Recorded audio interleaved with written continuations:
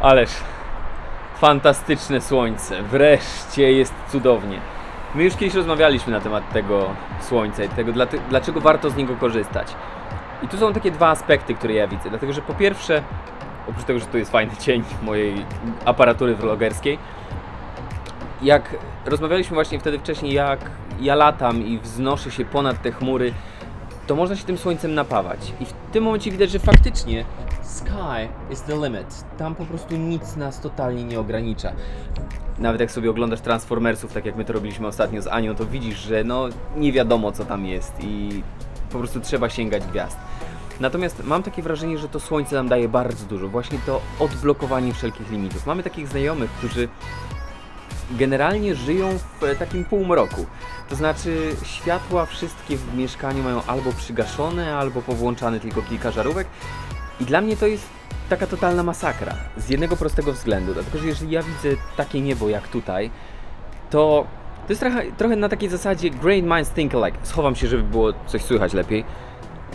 Hopla, w moim, mój zestaw vlogerski zestawem vlogerskim, ale mimo wszystko jest to dosyć problematyczne nagrywanie przy szerokiej ulicy.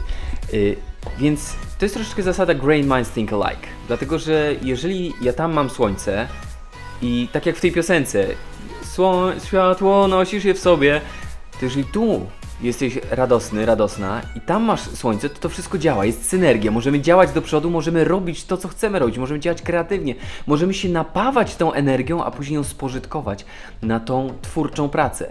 No więc w momencie, kiedy żyjemy tak jak ci moi znajomi, w takich warunkach dosyć mocno przygaszonego światła i tak dalej, to jest super. Szczególnie w momencie, kiedy chcesz się wyciszyć. No, trudno jest mi sobie wyobrazić, nie wiem, zorganizowanie romantycznego wieczoru dla swojej żony, partnerki, partnera, kochanka, kiedy wszy- wszędzie waliłyby po prostu świetlówki, no bo to nie ten klimat, prawda? Natomiast do pracy kreatywnej, do pracy twórczej, e, do odpoczynku, do relaksu, takiego właśnie angażującego trochę bardziej, tak jak plaża.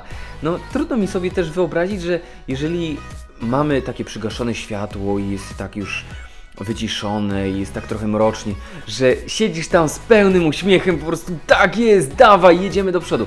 Takim świetle jest to o wiele prostsze. Przez ostatnie parę dni było ciężko, no bo by, były te chmury, one się tutaj gdzieś obniżały i teraz jeżeli nie ma tej synergii i jest y, kontrast, na dworze jest ciemno i źle, to trzeba mieć sobie tą energię, trzeba wcześniej się tą energią napawać, tak żeby ona została, żebyśmy mogli później z niej czerpać. Z drugiej strony, jeżeli jest źle tutaj u nas w głowie i, i mamy tutaj taką ciemność, jakieś mroczne myśli i tak dalej, i wylądujemy na tej plaży z drinkiem, nawet bezalkoholowym w ręku, no to może być naprawdę fantastycznie i jakby te złe rzeczy odpływają. Więc warto jest korzystać ze światła. Jeżeli nie mamy światła dziennego, to warto jest wymienić żarówki. Ja wczoraj wymieniłem wszystkie. Wszystkie? No, prawie wszystkie żarówki w mieszkaniu, po to, żebyśmy mogli z Anią pracować w warunkach maksymalnego światła wtedy, kiedy chcemy. A kiedy nie chcemy, żebyśmy mogli się wyciszyć i to światło po prostu przyćmić. Troszeczkę wyciszyć się w głowie i wyciszyć siebie na zewnątrz. Rozmawialiśmy o tym, że nie warto korzystać z telefonów, które nam świecą niebieską lampą tuż przed snem, bo to nie jest ten moment. Wszystko znajduje swoje zastosowanie, ale musi mieć jakiś cel. I światło to jest fantastyczna rzecz. A teraz cóż, odkładam kamerę, jest fantastyczne światło, dlatego właśnie teraz idziemy do tych znajomych, którzy mają to światło przygaszone, bo będziemy siedzieć przy oknie i będzie fantastycznie.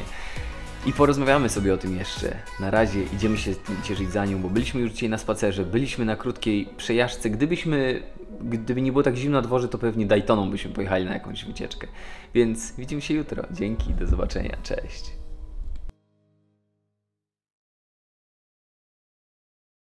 Cześć, Agatka. No, cześć. Siemanko. Oj,